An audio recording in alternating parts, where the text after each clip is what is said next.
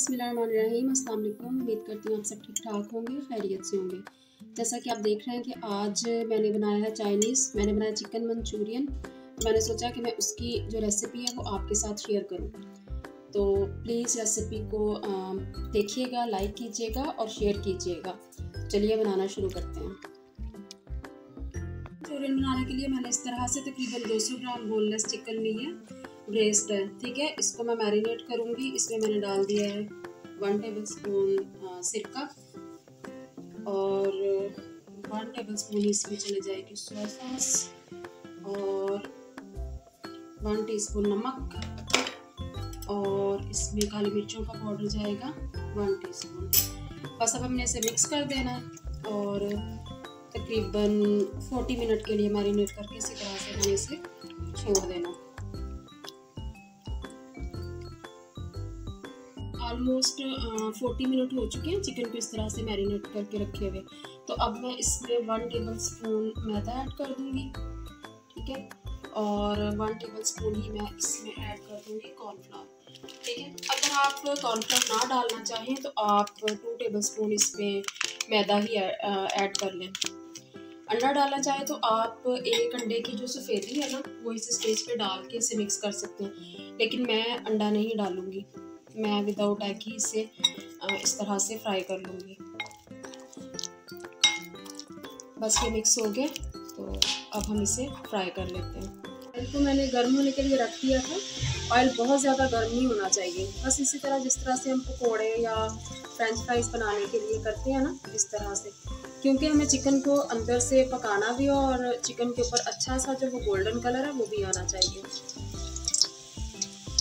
आप सभी जानते हैं कि टेम्परेचर जो है वो किसी भी रेसिपी को बनाने में, उसके जायके पे उसके कलर पे बहुत डिपेंड करता है जो टेम्परेचर है।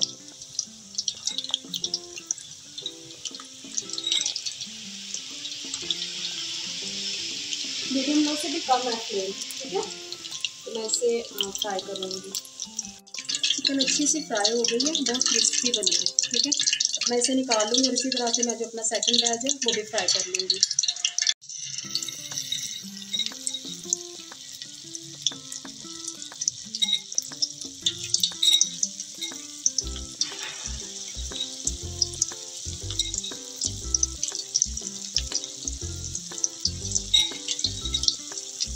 ऑयल क्योंकि गर्म था तो इसलिए मैंने स्लो पे ही रखा है। फ्लेम इस टाइम बिल्कुल स्लो है। मैं स्लो फ्लेम पे इसलिए कर रही हूँ ताकि चिकन जो है अच्छी से अंदर से गोल्डन हो हाँ ये चिकन भी अच्छी से फ्राई हो गई है। अब मैं इसे भी निकाल लूँगी। ठीक है?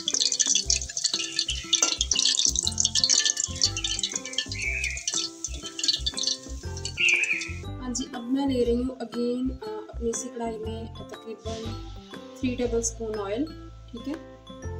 और इसमें करेंगे। मैंने इस तरह से लहसुन लिए हैं, तकरीबन तीन चार जगह बारीक काट लिए वो डाल देंगे। और इस तरह से बारीक कटी हुई दो तीन हरी मिर्चें ली हैं, ठीक है? इन्हें बस दो तीन मिनट तक ही फ्राई करेंगे, ज़्यादा फ्राई नहीं करना। बस गार्लिक का कलर जो है वो थोड़ा सा चेंज हो जाए और उसकी खुशबू आना शुरू हो जाए। मंचूरियन में डालने के लिए सब्ज़ियाँ जो है वो आप अपनी पसंद से ले सकते हैं। मैंने ग्रीन अनियन ली है थोड़ी सी तकरीबन दो तीन खाने के चम्मच। शिमला मिर्च ली है इस तरह से कटी हुई थोड़ी सी पत्ता गोभी ली है और गाजर ली है। आपको जो सब्ज़ियाँ पसंद हो, आप वो डाल दें। आप देख सकते हैं कि गार्लिक का जो कलर है वो थोड़ा सा चेंज हो गया है, ठीक है? तकरीबन थ्री मिनट हो गए थ्री टू फोर मिनट हो गए इसको फ्राई होते हैं अब मैं इसमें पत्ता गोभी डाल दूँगी और गाजर इस तरह से कटी हुई डाल दूँगी। और उसके साथ ही मैं इसमें डाल दूँगी शिमला मिर्च। ठीक है? हरी प्याज भी डाल देंगे। अब मुझे इन्हें बहुत ज़्यादा फ्राई नहीं करना। फ्लेम में स्लो रखूँगी, अभी भी फ्लेम स्लो है। और इसको मैं टोटल फाइव मिनट ही जो है वो हल्के फ्लेम पे इस तरह से फ्राई करूँगी। मैंने फाइव मिनट तक मैंने फ्राई कर लिया था स्लो फ्लेम पे। सारी सब्जियों को अब मैंने इसमें डाल दिया है। एक चाय का चम्मच पिसी काली मिर्च और एक चाय का चम्मच ही मैं डाल रही हूँ इसमें सॉल्ट ठीक है? और इससे हम कर देंगे बस मिक्स और अब इसमें जो सॉसेज जाएँगी वो कुछ इस तरह से होगी। मैं इसमें डाल रही हूँ one tablespoon soya sauce और वन टेबल स्पून में डाल रही हूँ चिली सॉस और इसके साथ जाएगी इसमें चिली गार्लिक सॉस तकरीबन थ्री टेबल स्पून में चिली गार्लिक सॉस डाल रही हूँ इसमें। मैं इसमें कैचअप से डालूँगी। टू टेबल स्पून कैचअप चली गई इसमें। और वन टेबल स्पून ही मैंने इसमें डाल दिया है वाइट विनेगर फ्लेम अभी भी स्लो है और मैं इसे कर दूँगी अच्छी तरह से मिक्स